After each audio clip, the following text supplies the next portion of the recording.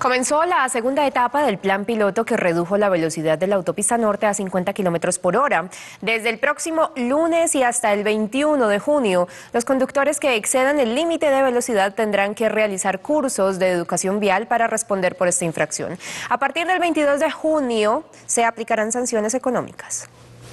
El plan piloto comenzó el 21 de diciembre y la primera fase fue voluntaria. La segunda fase del plan comienza este lunes festivo y tendrá comparendos pedagógicos. Nuestros agentes los detienen, les hacen una amonestación verbal, los invitan a cumplir con la norma y les explican qué es visión cero. En algunos casos se le podría invitar también a hacer un curso pedagógico.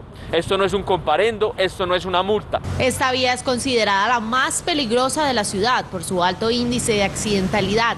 Pero desde que comenzó a aplicar la medida no se han presentado muertes por incidentes de tránsito en esta autopista.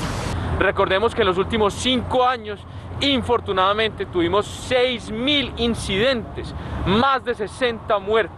Entre los conductores hay opiniones diversas. Por seguridad, sí, porque la vía es demasiado concurrida por motos, carros, peatones, he visto. Me parece una cosa muy maluca porque es que esta autopista siempre ha sido muy cohesionada, demasiado cohesionada. Me parece una bobada. La medida podría aplicarse en otras vías muy concurridas. No solamente se podría hacer, sino que se debería hacer. Porque aquí ya estamos hablando de que hemos demostrado que la ciencia con conciencia funciona. El 22 de junio se comenzaría la tercera fase que incluirá multas económicas.